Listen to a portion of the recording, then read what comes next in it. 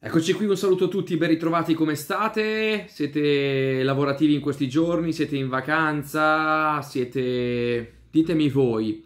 Mi raccomando, commentate numerosi qui sotto, lasciate un bel like se amate il Milan. Chi non lascia un like a questo video, capirete insieme perché ti fa la seconda squadra di Milano e iscrivetevi da questa parte. In tanti mi avete segnalato l'articolo sugli 807 milioni di debiti dell'Inter.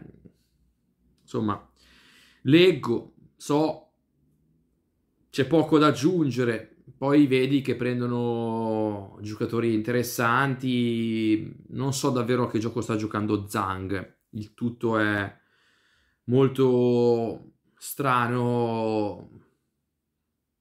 Insomma, adesso prendono Buknanan, eh, prendono, stanno puntando Taremi, hanno probabilmente chiuso Zielinski a parametro zero.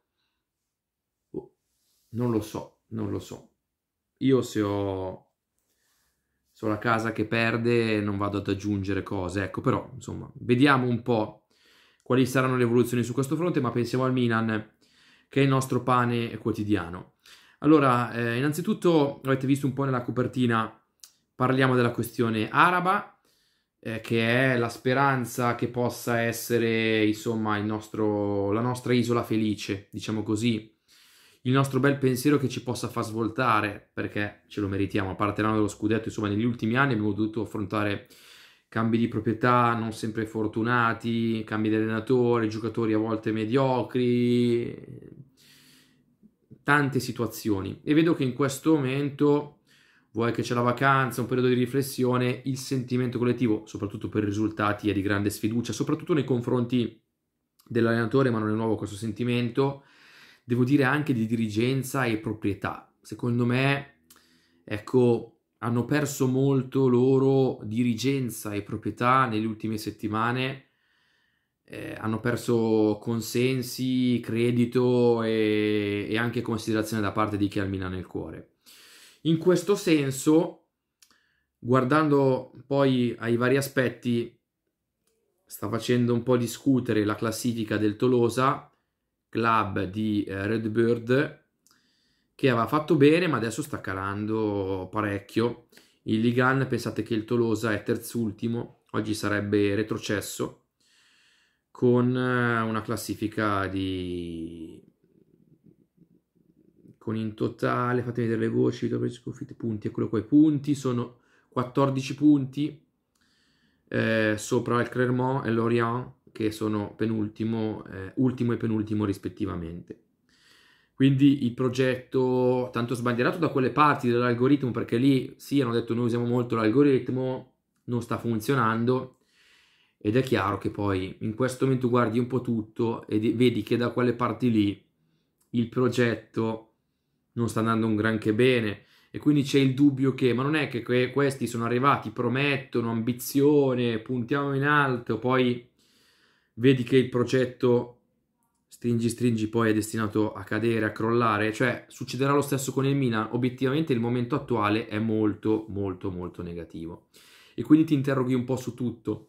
Sono in una chat rossonera con tantissimi cari rossoneri e, e si sono tanti divisi. C'è chi vede già l'anno prossimo in maniera molto negativa perché dici questa proprietà partirà con eh, non i favori della, del popolo, ma la critica.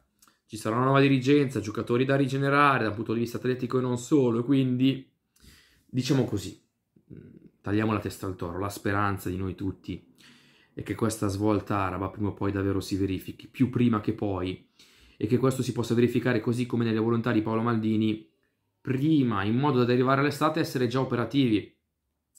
Come tempistica, diciamo, sarebbe molto buona in aprile-maggio, poi più vai avanti, più magari ti devi accontentare di, del, degli scarti o di seconde scelte. Un anno abbiamo fatto questo tipo di mercato arrivando un po' agli ultimi 15 giorni e commettendo degli errori, ve lo ricordate, eh, evidenti. Quindi era l'anno del passaggio, tra l'altro credo proprio a, a Elliott con Leonardo che fece il mercato in un paio di settimane con, con diversi errori. Leonardo che è sempre un po' qui, in zona Milan, in zona diciamo collante tra eh, l'Arabia, Paolo Maldini e il Milan con Jerry Cardinale. Ora veniamo alle ultimissime molto interessanti, così capite anche un po' eh, la, la, copertina che non ho ancora realizzato ma ho, ho decisamente in mente. In tutto questo però voglio dirvi una cosa che per quanto riguarda la eh, percentuale del sondaggio che abbiamo già commentato nel video precedente, abbiamo chiesto sulla community chi vorreste in panchina il prossimo anno, sale, abbiamo superato i 4.000 voti, siamo quasi a 5.000, sale la percentuale di Conte, in questo momento al 40%, quindi siamo quasi a un milanista su due che vorrebbe Antonio Conte, in seconda posizione De Zerbi 29%, quindi un milanista su tre, in quarta posizione Tiago Motta 25%, quindi un milanista su 4, in quinta posizione Palladino 2%, quindi un milanista su 50 e poi c'è 4% la voce altro. Personalmente io sono Conte leggermente sotto Tiago Motta, molto più sotto De Zerbi, poi ovviamente abbiamo 103.000 quasi teste diverse ed è giusto che ognuno abbia le proprie preferenze. Nessuno si scocci se io la penso diversamente o se qualcun altro la pensa diversamente. Lo dico perché ogni tanto qualcuno eh, trascende quando qualcuno non la pensa come lui o pensa di avere la verità in tasca. La verità in tasca non ce l'ha nessuno, ognuno ha delle preferenze. Le mie preferenze sono Conte, un po' più sotto De Zerbi, un po' più sotto, scusate, Conte, eh, Tiago Motta, un po' più sotto De Zerbi, un po' più sotto ancora Palladino e altro perché non so specificarlo in quel caso. Veniamo alle novità. Allora, ehm, prendo innanzitutto un articolo da Repubblica, quindi siamo al 40% Conte, eh? il popolo milanista di Milanello che rappresenta, devo dire, molto bene il tutto. Allora, prego, prendo innanzitutto eh, un articolo eh, del collega Curro. Qualcuno ieri mi ha scritto, ma perché di... non ne parla nessuno dell'Arabia, ne parli solo tu? No, ne parlo io, ne parla il collega Curro molto vicino a Paolo Maldini, e, e ne parlano anche in Arabia, quindi eh, gli altri evidentemente non hanno le, le nostre notizie o sono all'oscuro, un po' più cauti, non lo so. Io comunque quello che vi ho raccontato su Maldini, quell'incontro è, è, il discorso Leonardo, la volontà di prendersi Milan è certificato al 101%. Qualcuno mi scrive, speriamo che quello che dici sia vero. No, è vero, ve lo posso garantire su quello che ho di più caro. È vero, che ci riescano lo vedremo, però ci sono altri elementi. Allora, eh, siamo sull'articolo di Repubblica di oggi di Enrico Curro, ripeto, bravissimo, preparatissimo, sempre molto informato sulle questioni anche societarie, oltre che di campo, oltre ad essere stato colui che ha intervistato Paolo Maldini eh, un mese, un mese e mezzo fa ormai. Allora, eh, lui scrive il club licenziati Maldini e Massara, sostituiti dalla Di Furlani dal capo degli osservatori Moncada, ha arruolato Ibrahimovic consulente nazionista di maggioranza Geri Cardinale della dirigenza, ma Ibra, dopo la trasferta di Salerno, ha diffuso il suo video su Instagram di una rovesciata in spiaggia. Attende un ruolo operativo sul mercato, tra parentesi, per convincere Conte, ingaggio da 6 milioni in su, ad arrivare subito, punto di domanda. Nessuno decide davvero, in questo strano limbo che negli ambienti della finanza viene attribuito a un nuovo imminente riassetto societario, quindi parlano di imminente riassetto societario. Con l'uscita dal fondo Elliott, che nel 2018 raccolse il club dal debitore inadempiente Young On Lee, successore a corto di soldi di Silvio Berlusconi, e che nell'agosto 22 ha ceduto la maggioranza delle quote Redbird di Cardinale, previo previsto da 550 milioni sugli 1,2 miliardi dell'operazione. Ora gli investitori arabi sarebbero pronti a pagare a Elliott il prestito concesso a Redbird, e questo l'abbiamo detto, e poi a rilevare le quote restanti ufficialmente controllate da Cardinale, ufficialmente scrive, il quale Cardinale avrebbe incassato l'estate scorsa e qui veniamo a il fattore di svolta. Secondo eh, il collega Corrò, leggo testualmente, Cardinale ha incassato la scorsa estate il dietrofront del suo principale investitore annunciato nell'affare Milan, Kaiser Permanente che è un nome vero, eh? sembra, sembra un nome Kaiser permanente da, da film di Aldo Giovanni e Giacomo, però è un nome vero ed è anche molto serio, è il colosso della sanità privata americana, che aveva ipotizzato un soft commitment, un impegno iniziale da 200 milioni di euro. Quindi Kaiser permanente aveva detto noi mettiamo 200 milioni nel Milan. Salvo poi eh, qualche mese fa dire non, diciamo non rispettare il patto. La ricerca del socio arabo si traduce nella difficoltà di assumere impegni a lunga scadenza, da Ibra dirigente al nuovo allenatore, che potrebbero essere disconosciuti dal futuro eventuale proprietario. Quindi, eh, siccome non ci sono più quei 200 milioni che erano stati garantiti, è venuto meno il colosso, eh, li cerchiamo non in America, dove vi diceva Martinelli già a settembre, Cardinale stava facendo fatica a recuperare denaro. Questa è stata un'anteprima di Milanello che come vedete trova conferma anche mesi dopo.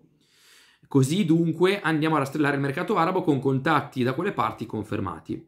L'idea però è che entrino e poi diventino anche proprietari maggior- della maggioranza. Quindi tra le righe, secondo me, può essere una lettura il fatto che non si cambi tecnico perché poi ne metto uno che, oppure Ibra, perché non è entrato nella galassia Milan, ma in Red Bird? Perché Ibra sa che se c'è un cambio di proprietà lui rimarrebbe a piedi e quindi a livello di immagine iniziare un'avventura nel Milan ed essere poi cacciato dopo qualche mese non sarebbe un bel biglietto da visita per la sua avventura manageriale. Da qui il dialogo, la decisione poi di finire nella galassia Redbird, quindi non sarebbe mai a quel punto cacciato, ma continuerebbe a lavorare in Redbird. Spiegazione anche alla trattativa lunga e al fatto che Ibrahimovic non sia entrato nell'organigramma Milan, pur lavorando prevalentemente nel Milan. Eh, questo dunque è l'aspetto. Il fatto che, se confermato questo colosso, e non è stata smentita questa notizia, eh, cioè Kaiser permanente, fa ridere, eh? però è, è il nome è questo, Kaiser permanente che è un colosso di USA del settore medico, un consorzio di cure con sede a Oakland in California, in America possiede 39 ospedali e vanta un numero enorme di dipendenti, il fatturato, come scrive Calcio Finanza, ha raggiunto la clamorosa cifra di 93 miliardi di dollari, il consorzio Vita Lunghissima è stato infatti fondato nel 1945 da due personaggi molto importanti, l'industriale Henry Kyer, da cui presumibilmente nasce il nome, e dal medico eh, Garfield. Quindi, eh, secondo me, fa riflettere il fatto che comunque un colosso del genere si sia tirato indietro, ritenendo evidentemente l'investimento sul Milan non funzionale, non strategico e non eh, proficuo. Il fatto stesso che Cardinale non sia riuscito a raccogliere tutti i denari che pensava in America e che dava quasi per scontato fa capire che da quelle parti il progetto di Redbird sul Milan non convince. Ripeto, il dietrofront non smentito eh, di eh, questo Kaiser eh, permanente deve, eh, deve far, eh, far riflettere. Quindi se il Milan passerà davvero, almeno inizialmente con la minoranza e poi per la maggioranza, in mani arabe, lo dovremo, secondo la ricostruzione del collega Currò, ripeto, molto preparato e affidabile, al dietrofront di Kaiser permanente.